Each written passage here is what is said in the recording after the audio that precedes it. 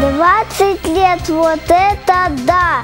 Это немало, думаю я. Мама моя не знала тогда, что в конкурсе буду участвовать я. Время меняется, люди меняются, что-то находится, что-то теряется.